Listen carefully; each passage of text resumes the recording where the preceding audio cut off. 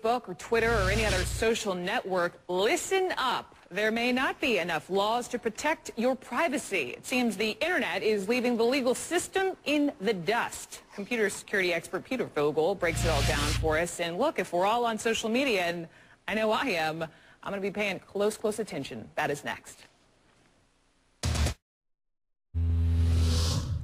So it's kind of funny that we all, uh, yes, I'm guilty as well, we scream about our privacy rights, that they're not protected. But then we go onto Facebook, we punch a, post a bunch of stuff about ourselves. Uh, but Facebook has a private uh, policy, right? A privacy policy. So does MySpace, so does Twitter. So we're covered, right? Mm, maybe not so much. There are dangers here a lot of us haven't exactly considered. And here to uh, help explain all of these uh, potential dangers is Peter Vogel, a lawyer and a computer analyst, uh, computer industry specialist. He's also wears a bunch of hats. He's an adjunct professor of e-commerce law at SMU, Southern Methodist University. Peter, nice to have you on. Uh, oh, let, let's talk privacy here. How, how, a couple of questions right out of the, the gate here. How, how long is Facebook's privacy poly, policy, how long has that been, been, been set? Would Americans really even understand it? And how much does it actually protect us? Uh, that's more than one question, but I'll try and deal with all of them. Uh, actually, actually, Facebook makes changes to its privacy policy from time to time. It's part of the deal. Uh, usually when I take a show of hands about people that read privacy policies, no one ever bothers to read them. Uh, but Facebook, when they've made some major changes, there's been a lot of, of pushback. And so the biggest change happened February about a year and a half ago. And um, now when you post things on Facebook, they can use it as long as it's there.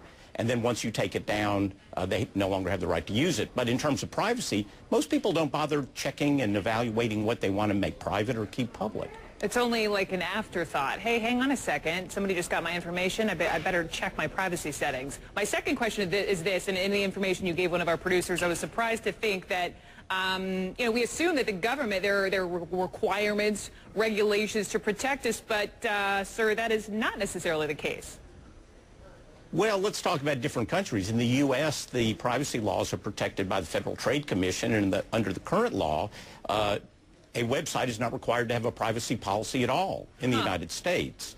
Uh, on the other hand, if there is a privacy policy, uh, the Federal Trade Commission makes sure that uh, people enforce whatever it is. So, for instance, let's say that you land on a, a site like uh, Google or something, and it says they will not use your personal identifiable information. Well, if they use your personal identifiable information, the Federal Trade Commission will come after them, sanction them, and make either that or make them change their policies. But for Twitter, for example, there is no requirement you have to have a privacy policy?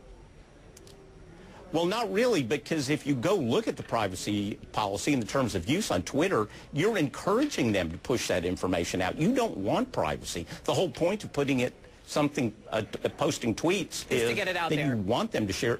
Yeah, as a matter of fact, what you do is you give them an unlimited copyright. They can do anything want they want with the tweet and even change the content if they want. You brought up a good point about how, you know, the U.S. very much so different than other countries. And I want to talk specifically about email, right? It's something we all do um, morning, noon, and night. Uh, and in Europe, it's protected. Here in the U.S., it's not. So your boss can, you know, legally read your email.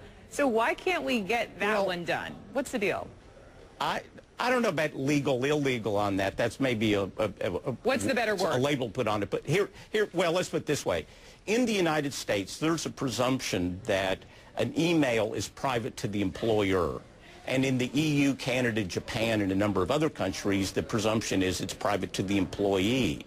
So there's a different privacy expectation. Now, if there's if an employee is using a webmail service and not the employer's uh, email service, they're entitled to that kind of privacy. It's a matter of whether they're using their employer service or not. Bottom line, we need to be so aware. So the, the comp- bigger...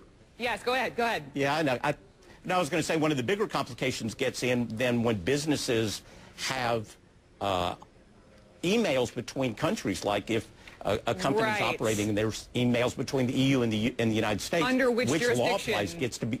Right, under which yeah, jurisdiction would, would, that fall? It's complicated. It's right. we're trying to educate ourselves. And bottom line, we all have to be careful what we write, what we tweet, what we Facebook. Kind of more, more often Absolutely. than not. Absolutely. Right. the Peter Federal Vogel. Trade Commission, yeah. And the, thank Peter you. Vogel, thank you so much. Thank you so much. Got to move on. Now to this.